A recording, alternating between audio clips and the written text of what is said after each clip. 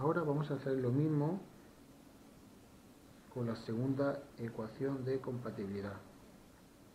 En este caso sería con n sub 2i.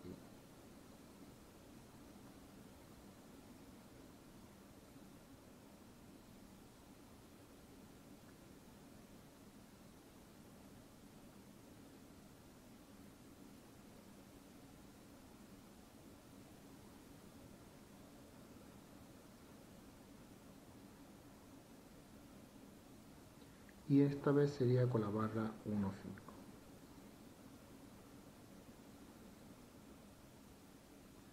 Como ya he dicho antes, esta parte se nos va y lo que queremos calcular es esto.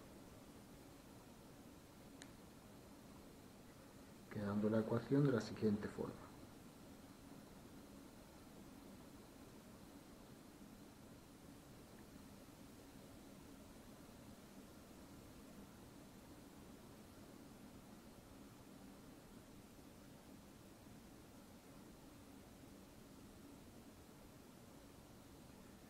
Multiplicando cada término y despejando nos quedaría la segunda ecuación de la siguiente forma.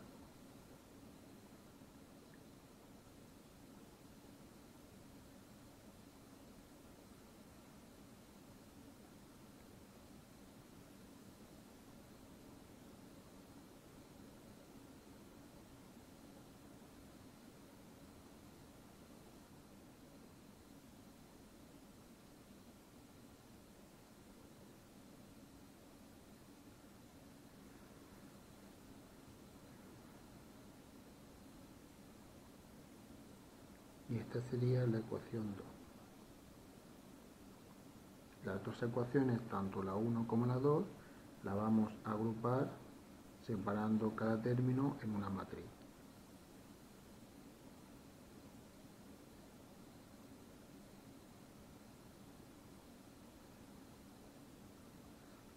Ahora, una vez calculado eh, la matriz, debemos de resolver cada término es decir, tengo que saber cuánto vale el sumatorio de esto, el sumatorio de esto, de esto, de esto y de esto. Una vez que lo tengamos, lo pondremos en la matriz y obtendremos los valores de x1 y x2. En este caso, vamos a realizar una sencilla tabla donde pondremos barra LI N 1i N 2i N 0i N 1i al cuadrado LI N 1i N 2i LI n sub 2i al cuadrado li n sub 0 i n1i li n sub 0 i. N2i li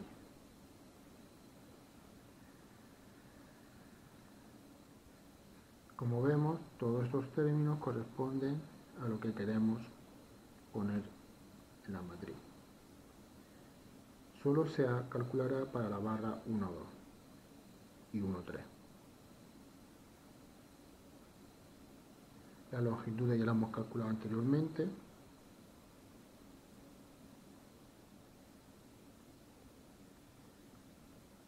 N1i, N2i, estos valores y N sub 0i, estos valores ya los habíamos calculado por el método de los nudos.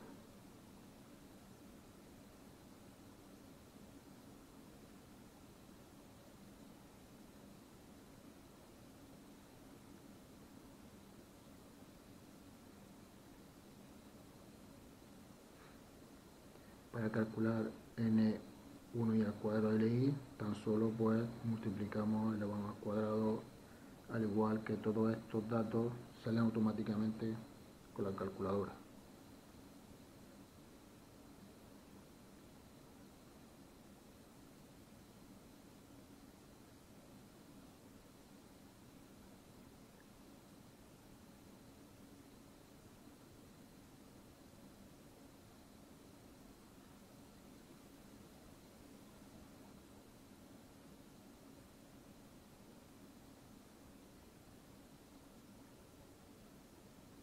Si nos fijamos, en este sumatorio hay una suma de, una longitud L14 y aquí también hay un sumatorio de, de la longitud de la barra 1L5, con lo cual vamos a sumarle la barra.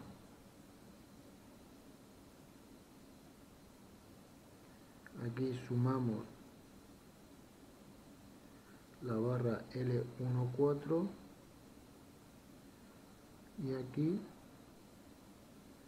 sumamos la barra L15 quedando sabiendo que la barra son 4,123 4,4721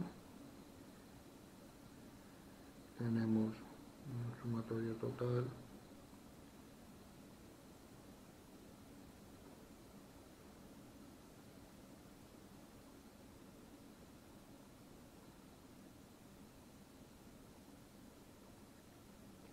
Ahora, como ya hemos calculado este valor, este, este, y también sabemos este valor y este,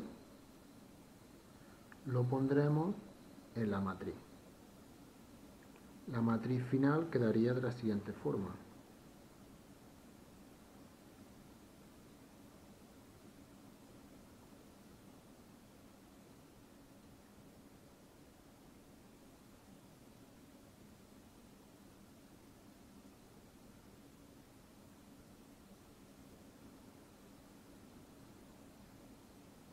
los términos que queremos calcular.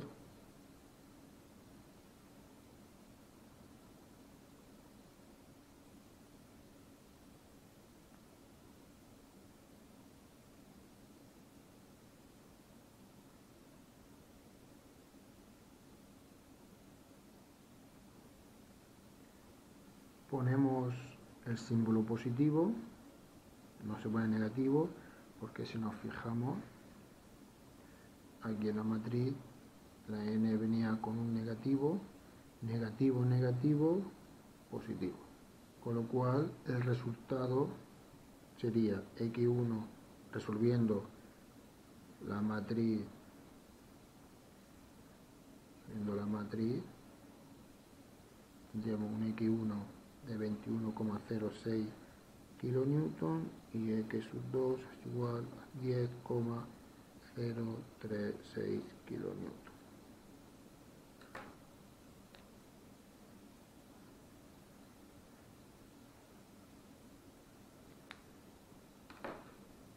Una vez obtenido esos valores, sabiendo que la fórmula inicial era ni es igual a 0i más x1 n1i más x2 n2i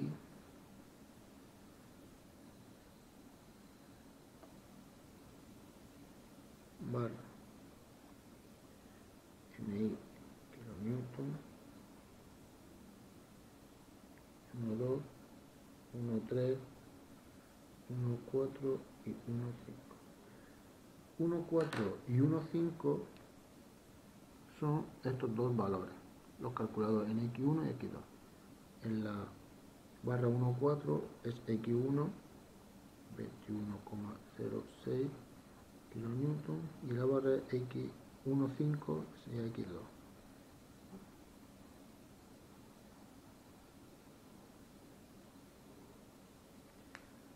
Ahora para la barra 1.2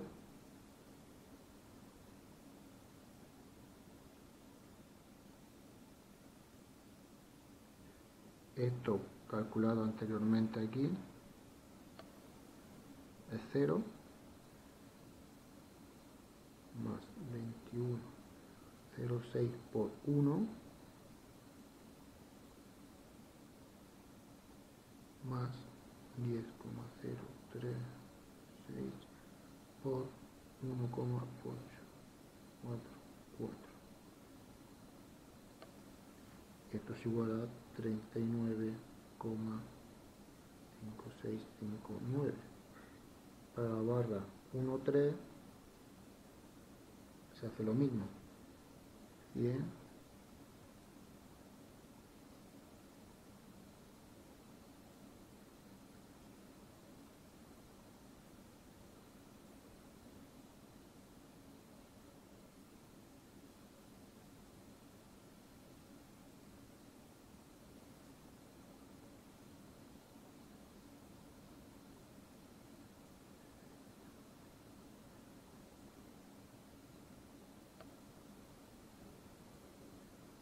queda que para la barra 1, 2 en su i es 39,5659 y para la barra 1, 3 32,207. El dibujo final de la estructura quedaría de la siguiente forma.